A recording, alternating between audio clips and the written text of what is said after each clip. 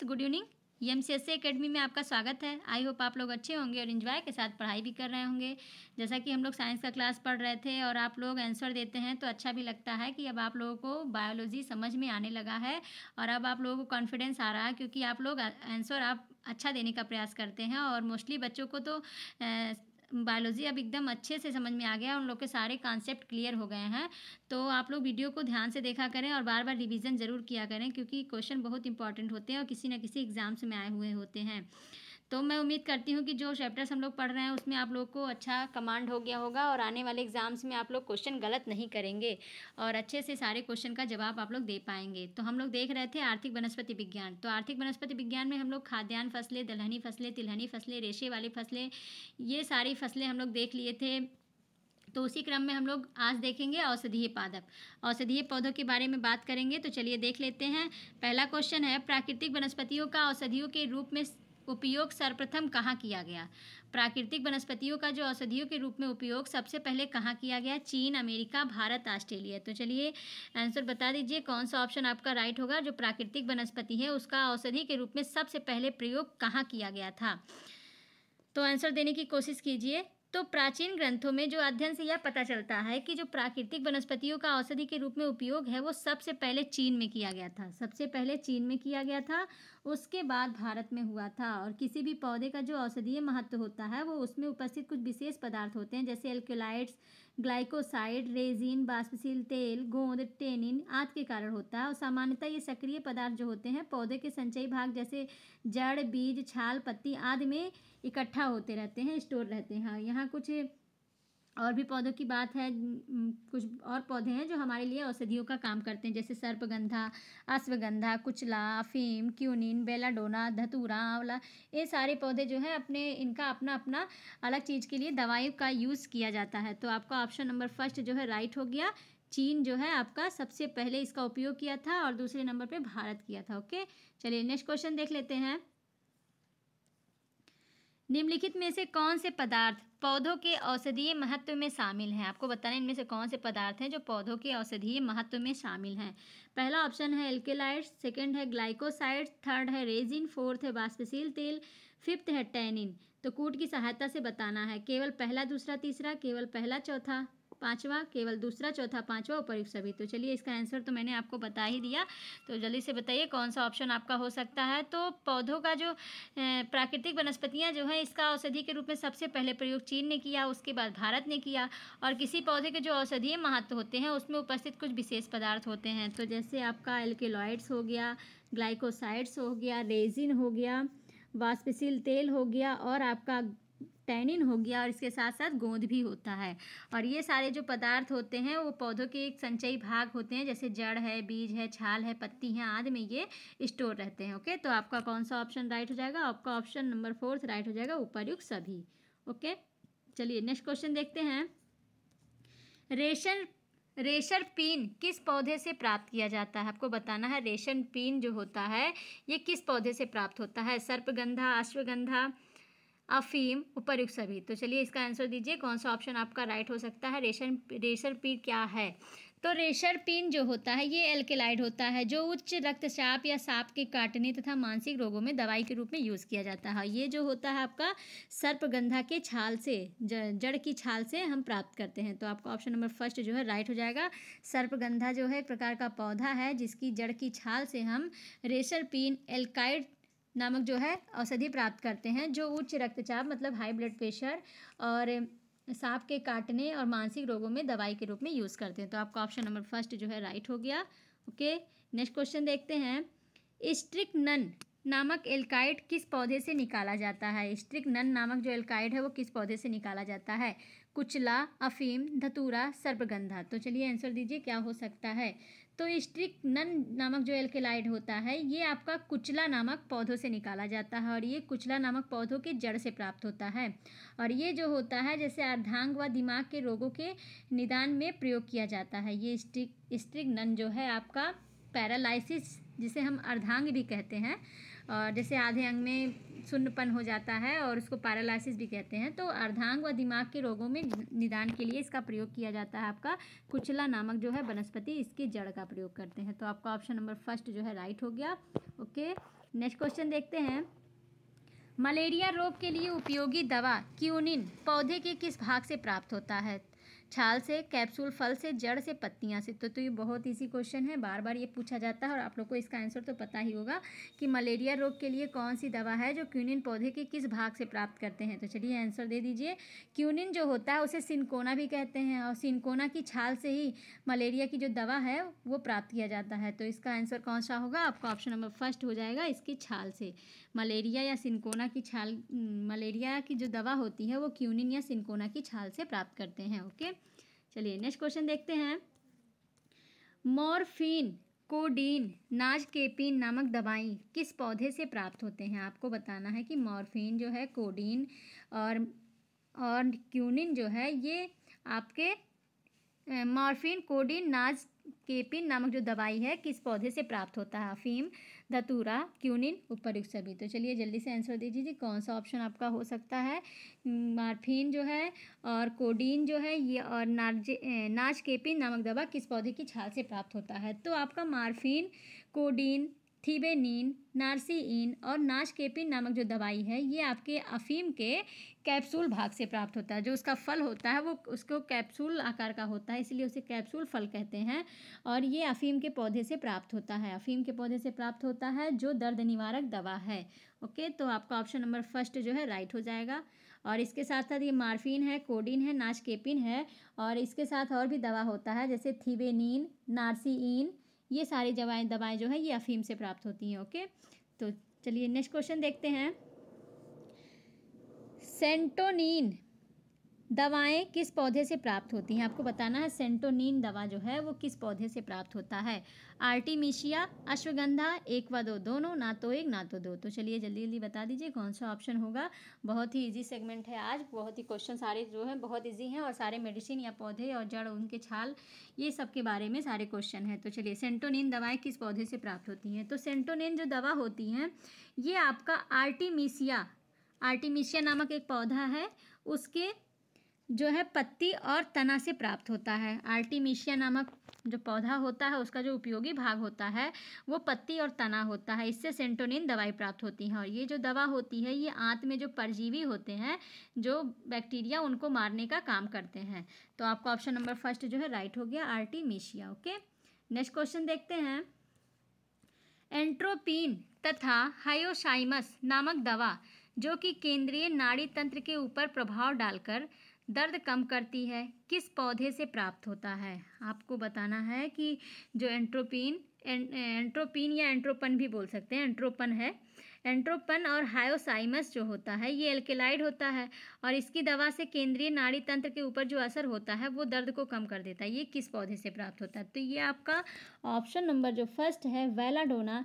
ये आपका राइट हो जाएगा। बेलाडोना से प्राप्त होता है और बेलाडोना की जो उपयोगी भाग हैं, वो सूखी पत्तियाँ और जड़ हैं और इसके जो होते हैं ये एंट्रोपिन और हायोसाइमस जो होते हैं एल्काइड प्राप्त होते हैं, जिससे नाड़ी, जो केंद्रीय नाड़ी होता है या उसको नर्वस सिस्टम कह सकते हैं सेंट्रल नर्वस सिस्टम जो होते हैं, इसके ऊपर जो होता है असर करके और इसको दर्द में, दर्द को कम कर सकता है। तो आपको ऑप्शन नंबर फ़र्स्ट जो है राइट राइट हो जाएगा बैला बैला डोना ओके चलिए नेक्स्ट क्वेश्चन देख लेते हैं। एफेड्रिन नामक दवाइयाँ किस पौधे से प्राप्त होती हैं? एफेड्रिन नामक जो दवाई है, वो किस पौधे से प्राप्त होती है? एफेड्रा धतूरा अफीम, असुगंधा। तो ये तो बहुत इजी क्वेश्चन है। चलिए इसका आंसर दे दीजिए। एफेड्रिन नामक दवाइयाँ किस पौधे से प्राप्त होती हैं? तो एफेड्रिन नामक जो दवाई होती है, वो एफेड्रा नामक पौधे से प्राप्त होती है। और एफेड्रा जो पौधा होता है उसका उपयोगी भाग जो होता है वो तना होता है। और एफेड्रिन दवा जो होती है, ये खांसी के उपचार के लिए प्रयोग किया जाता है। तो आपका ऑप्शन नंबर फ़र्स्ट जो है राइट हो जाएगा, एफेड्रा। एफेड्रिन दवा जो है एफेड्रा से प्राप्त होता है, उसी पौधे के नाम पर ही उसकी दवा का भी नाम रखा गया है, ओके? तो चलिए नेक्स्ट क्वेश्चन देख लेते हैं। निम्न में से किस पौधे को हिमालय का सोना कहा जाता है? ये आपका इंपॉर्टेंट क्वेश्चन है, हिमालय का सोना किस पौधे को कहा जाता है? सीबक थोर्न अश्वगंधा, धतूरा, आंवला। तो चलिए जल्दी से आंसर दीजिए, क्या हो सकता है?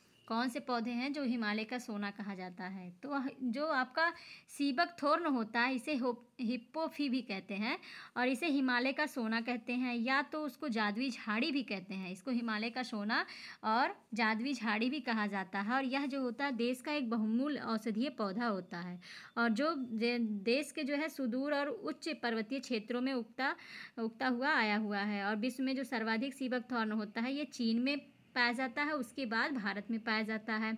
और भारत में जो सीबक थॉर्न का सर्वाधिक क्षेत्र है, वो जम्मू कश्मीर के लद्दाख में है। और हिमाचल उत्तराखंड और पूर्वोत्तर भारत के पर्वतीय क्षेत्रों में भी यह सीबकथॉर्न पाया जाता है और यह एक बहुउपयोगी पौधे के रूप में सामने आया है, जिसके जिसके जो, इसके जो फल हैं, उसमें विटामिन, खनिज, लवण, एसिड और बायोमोलिक्यूल्स जैसे अनेक पोषक तत्वों से भरपूर होते हैं। और इसमें लाइसिन जैसे अमीनो अम्ल भी पाए जाते हैं और फाइव एस जैसे तत्व बेहद उपयोगी और दुर्लभ होते हैं। और सीबक थोर्न जो होते हैं, इनका प्रयोग जैम में, प्यूरी में, अचार में, सॉस में, हर्बल चाय में कप में सिरप में साबुन में लोशन और क्रीम आदि बनाने में बाज़ार में प्रयोग किया जाता है।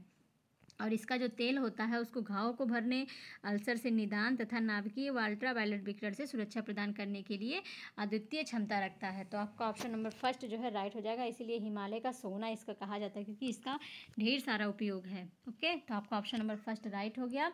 और सीबक थोर्न का पौधा देख लीजिए। इस तरह सीबक थोर्न होता है, इसके बीज इस टाइप से होते हैं। ओके? चलिए नेक्स्ट क्वेश्चन देख लेते हैं। विश्व में सर्वाधिक सीबक थोर्न किस देश में पाया जाता है? चीन, भारत, अमेरिका, कनाडा। तो चलिए बता दीजिए। इसका आंसर तो मैंने आपको पहले ही बता दिया कि सीबक थोर्न सबसे ज़्यादा कहाँ पाया जाता है। तो सीबक थोर्न या हिप्पोफी इसे कहते हैं, इसे हिमालय का सोना कहते हैं, इसे जादुई झाड़ी भी कहते हैं और यह देश का बहुमूल्य औषधीय पौधा है। और विश्व में सबसे ज़्यादा जो सीबक थॉर्न होता है, ये चीन में पाया जाता है। सबसे ज़्यादा की बात कर रहा है तो आपका सबसे ज़्यादा आपका चीन में पाया जाएगा, उसके बाद आपका भारत में पाया जाएगा। और भारत में सीबक थॉर्न जो सबसे ज़्यादा पाया जाता है, वो जम्मू जम्मू कश्मीर के लद्दाख में पाया जाता है, हिमाचल प्रदेश, उत्तराखंड और पूर्वोत्तर भारत के भी पर्वतीय क्षेत्रों में पाया जाता है। और यह एक बहुपयोगी पौधे के रूप में है, जिसके फल जो होते हैं, उसमें विटामिन, खनिज लवण, एसिड और बायोमालिक्यूल्स भी होते हैं। इसमें कई पोषक तत्व भी पाए जाते हैं, इसमें लाइसिन नामक एमिनो अम्ल भी पाया जाता है। और इसका प्रयोग जो होता है, जैम, प्यूरी, अचार, सास, हर्बल चाय, सीरप, साबुन, लोशन, क्रीम आदि बनाने में किया जाता है। और इसका जो तेल होता है, वो घाव को भरने, अल्सर से निदान और नाभिकीय तथा अल्ट्रा वायलेट विकरण में सुरक्षा प्रदान करने के लिए अद्वितीय योगदान देता है। तो आपका ऑप्शन नंबर फ़र्स्ट जो है, राइट हो जाएगा चीन। ओके? चलिए, नेक्स्ट क्वेश्चन देख लेते हैं। क्रिकेट के बल्ले किस लकड़ी से बनाए जाते हैं? आपको बताना है क्रिकेट के जो बल्ले हैं, वो किस लकड़ी से बनाए जाते हैं? शीशम सागौन, बिलो, अखरोट। तो चलिए जल्दी से बता दीजिए क्रिकेट के बल्ले किस लकड़ी से बनते हैं? तो क्रिकेट के जो बल्ले होते हैं, ये आपके बिलो नामक लकड़ी से बनते हैं। और ये जो होता है, इससे आपका क्रिकेट के बल्ले बनाए जाते हैं। आपके ऑप्शन नंबर थर्ड जो है, राइट हो जाएगा बिलो। ओके? बिलो की लकड़ी से आपके क्रिकेट के बल्ले बनाए जाते हैं। नेक्स्ट क्वेश्चन देखते हैं।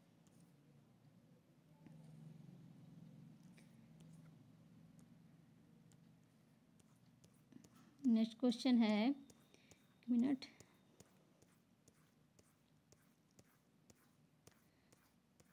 चलिए। वस्तुओं के पैकिंग के लिए किस वृक्ष की छाल उपयोगी होती है? आपको बताना है, जो वस्तुओं की पैकिंग की जाती है, उसके लिए किस वृक्ष की छाल का प्रयोग किया जाता है? सिल्वर फर्न काली सीरीस, एक व दो, दोनों, ना तो एक, ना तो दो। तो चलिए इसका आंसर बता दीजिए, वस्तुओं की जो पैकिंग के लिए किसका प्रयोग करते हैं? वस्तुओं के पैकिंग के लिए किस वृक्ष की लकड़ी का प्रयोग करते हैं? तो आपका कौन सा ऑप्शन राइट हो सकता है? तो आपका जो वस्तुओं की पैकिंग के लिए सिल्वर फर और काली सीरीस नामक लकड़ी का यूज़ करते हैं तो आपका ऑप्शन नंबर थर्ड जो है राइट हो जाएगा। और काली सीरीस जो होता है, इसका जो प्रयोग होता है, ये फर्नीचर बनाने में भी किया जाता है, पैकिंग के लिए पेटी बनाने में भी किया जाता है और मकान बनाने के भी काम आता है। तो आपका ऑप्शन नंबर जो है थर्ड जो है राइट हो जाएगा। एक व दो, दोनों वस्तुओं की पैकिंग के लिए का सिल्वर फर्न और काली सीरीस नामक लकड़ी का यूज़ करते हैं ओके नेक्स्ट क्वेश्चन देखते हैं। सागौन वृक्ष मुख्यतः पाया जाता है। सागौन वृक्ष कहाँ पाया जाता है? उत्तर प्रदेश, मध्य प्रदेश, कर्नाटक, केरल। तो चलिए बताइए, सागौन वृक्ष कहाँ पाया जाता है? तो सागौन वृक्ष जो होता है, ये आपका मध्य प्रदेश में पाया जाता है और सागौन वृक्ष का जो वनस्पतिक नाम होता है वो टेक्टोना ग्रैंडिस होता है और इसका जो प्रयोग होता है वो फर्नीचर में, रेलवे स्लीपर में, खेल का सामान व दरवाजे आदि बनाने में किया जाता है। तो आपका ऑप्शन नंबर सेकेंड जो है राइट हो जाएगा, सागौन वृक्ष मुख्यतः मध्य प्रदेश में पाया जाता है। ओके, नेक्स्ट क्वेश्चन देखते हैं। खेल का सामान बनाने के लिए निम्न में से किस लकड़ी का प्रयोग किया जाता है? आपको बताना है, खेल का सामान बनाने के लिए निम्न में से किस लकड़ी का प्रयोग करते हैं? शीशम, सागौन, आम, अखरोट। तो चलिए आंसर दीजिए। देखिए कौन सा ऑप्शन राइट हो जाएगा? ऑप्शन के हिसाब से आपको आंसर देना है। तो खेल का सामान जो बनाया जाता है, वो आप, उसके लिए आपको लकड़ी, सागौन की लकड़ी जो होती है, वो खेल के सामान बनाने के लिए अच्छी होती है। और इसका जो वनस्पतिक नाम है, वो टेक्टोना ग्रैंडिस है। और इसका प्रयोग जो होता है, फर्नीचर, रेलवे स्लीपर और खेल का सामान व दरवाजे आदि बनाने में किया जाता है। तो आपको ऑप्शन नंबर सेकेंड जो है राइट हो जाएगा, सागौन। ओके नेक्स्ट क्वेश्चन देखते हैं। निम्न में से किस लकड़ी का प्रयोग रेलवे स्लीपर बनाने में किया जाता है? रेलवे स्लीपर बनाने में किस लकड़ी का प्रयोग किया जाता है? शीशम काली सीरीस, आम बिलो। तो चलिए आंसर दीजिए, कौन सा ऑप्शन होगा? मैंने आपको कई बार बताया है। तो आपको ऑप्शन के हिसाब से बताना है कि रेलवे स्लीपर रेलवे स्लीपर जो होता है वो कई तरह की लकड़ी का यूज़ करते हैं।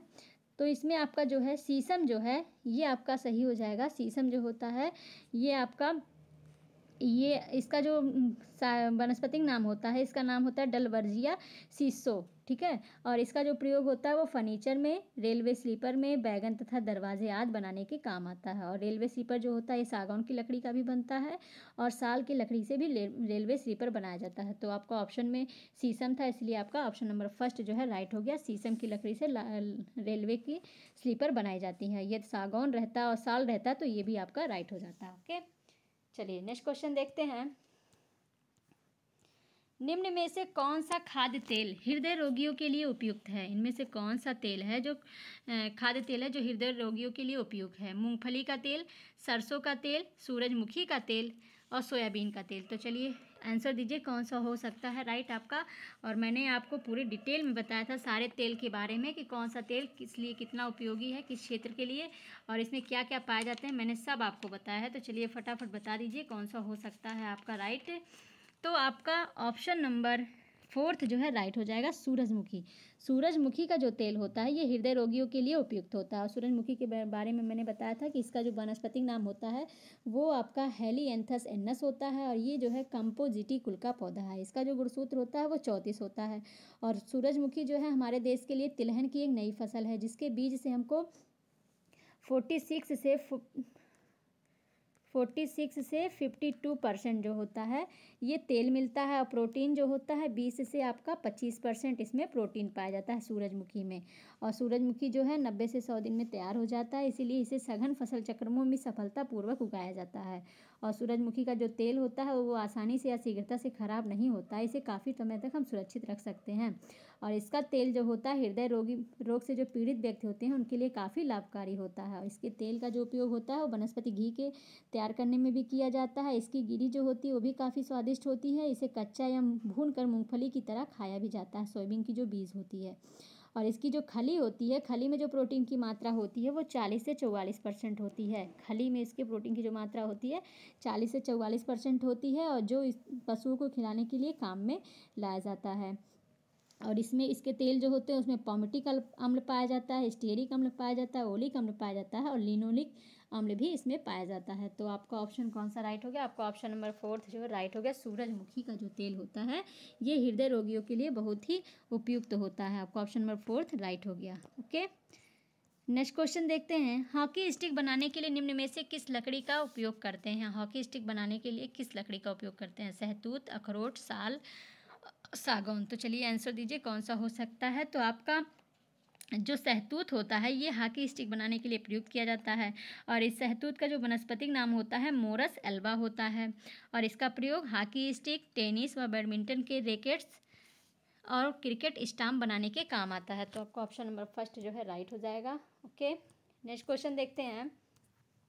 निम्न में से किसके बीज मधुमेह के रोगी के रक्त शर्करा स्तर को सामान्य बनाए रखने में लाभ पहुंचाते हैं? मेथी, तिल, एक व दो, दोनों, ना तो एक, ना तो दो। तो आपको बताना है कि इनमें से कौन सा बीज है जो शुगर पेशेंट के लिए, उसका जो शुगर पेशेंट है, उसका ब्लड शर्करा की जो मात्रा है, उसको नॉर्मल बनाए रखते हैं। तो मेथी, तिल, दोनों, ना तो एक, ना तो दो। तो आपका जो मेथी है ना, ये मेथी आपके शुगर पेशेंट के लिए जो रक्त शर्करा है, उसको सामान्य बनाए रखने के लिए बहुत उपयोगी है। मेथी जो है, ये शुगर पेशेंट के लिए एक औषधि के रूप में है। तो आपका ऑप्शन नंबर फ़र्स्ट जो है राइट हो जाएगा। ओके नेक्स्ट क्वेश्चन देखते हैं और आज का लास्ट क्वेश्चन चंदन का वृक्ष मुख्यतः भारत में कहाँ पाया जाता है? कर्नाटक, तमिलनाडु, एक व दो दोनों, ना तो एक, ना तो दो। तो आपको बताना है, चंदन का जो वृक्ष होता है, ये कहाँ पाया जाता है? तो चलिए आंसर दीजिए। तो चंदन का जो वृक्ष होता है, ये आपका कर्नाटक में पाया जाता है और तमिलनाडु में पाया जाता है। तो आपका कौन सा ऑप्शन राइट हो जाएगा? आपका ऑप्शन नंबर थर्ड जो है राइट हो जाएगा। एक व दो, दोनों ओके तो चलिए हम फिर से बात कर लेते हैं। शीशम जो होता है, उसकी लकड़ी से क्या क्या बनता है? शीशम जो होती है, उसकी लकड़ी से फर्नीचर बनता है, रेलवे स्लीपर बनता है, वैगन बनता है दरवाजे आदि बनाने में काम करते हैं। और सागौन की जो लकड़ी होती है, उसका भी प्रयोग फर्नीचर बनाने में, रेलवे स्लीपर बनाने में, खेल का सामान व दरवाजे बनाने में काम करते हैं। साल का जो पौधा होता है, उसका प्रयोग भी फर्नीचर में, रेलवे स्लीपर में, पुल और मकान बनाने में किया जाता है। काली सीरीज़ जो होती है, इसका भी प्रयोग फर्नीचर में होता है। पैकिंग के लिए पेटी तथा मकान बनाने में करते हैं। और तून जो होता है तून लकड़ी का जो यूज़ होता है, उसका भी प्रयोग आप फर्नीचर और मकान बनाने में करते हैं। आम की लकड़ी जो होती है, उसका भी यूज़ फर्नीचर, मकान और ईंधन के रूप में किया जाता है। अखरोट जो होता है, उसकी लकड़ी का जो प्रयोग होता है, वो बंदूक का बट और संगीत वाद्य यंत्र बनाने में किया जाता है। और आपका बीलो की जो लकड़ी होती है उससे क्रिकेट के बल्ले बनाए जाते हैं और सहतूत जो होता है उससे हॉकी, स्टिक, टेनिस, बैडमिंटन के रैकेट्स और क्रिकेट स्टम्प बनाए जाते हैं। तो आपको पता चल गया होगा कि किस लकड़ी का यूज़ हम किस क्षेत्र में करते हैं क्या क्या बनाने में करते हैं। चलिए हम औषधीय पादप के बारे में कुछ बात कर लेते हैं, सर्पगंधा के बारे में बात करें। सर्पगंधा जो होते हैं, इसका जो उपयोगी भाग होता है, वो जड़ की छाल होता है और इनकी जो औषधीय उपयोगिता होती है रेशर पिंड, एल्काइड जो हाई ब्लड प्रेशर और सांप के काटने तथा मानसिक रोगों में दवाई के रूप में उपचार किया जाता है। तो सर्पकंधा का जो है इससे रेशरपीर एल्केराइड नामक औषधि तैयार की जाती है, ओके? और सेकंड हम बात करते हैं अश्वगंधा की। तो अश्वगंधा का जो उपयोगी भाग है, वो जड़ है। और यह होता है, ये स्त्री रोगों, गठिया रोगों और जोड़ों के सूजन में उपचार के लिए अश्वगंधा का हम यूज़ करते हैं। अगला हम कुचला की बात तो कर ही लिए हैं कि इसका हम जड़ उपयोगी भाग जो है, जड़ है और स्टिगनन नामक एल्केलाइट से निकाला जाता है जो पैरालिसिस व दिमाग के रोगों के लिए निदान में प्रयोग करते हैं। अफीम का बात कर लेते हैं। अफीम जो होता है, इसका उपयोगी भाग कैप्सूल फल होता है जो मार्फिन कोडिन थीबेनिन नार्सिन और नाच केजिन नास केपिन नामक जो औषधि प्राप्त करते हैं, जो दर्द निवारक होता है और क्यूनिन जो आप जानते हैं सिनकोना जो है, ये सिनकोना की छाल से निकाला जाता है, जो मलेरिया की दवा के लिए उपयुक्त होता है। और बैला डोला बैला डोना जो होता है, ये सूखी पत्तियाँ व जड़, इसका उपयोगी भाग है, जिससे हम एंट्रोपन और हायोसाइलम एल्केराइड नामक प्राप्त करते हैं, जो केंद्रीय नाड़ी तंत्र के ऊपर जो दर्द दर्द को कम करने का काम करता है। धतूरा जो होता है, धतूरा उसका जो उपयोगी भाग होता है, उसका फल का रस होता है और जो बालों में जो डैंड्रफ होते हैं, उसको हटाने और गले के रोगों के, रोगों में काम आता है, ये आपका धतूरा है। आंवला जो होता है, आंवले का जो उपयोगी भाग है, ये फल है।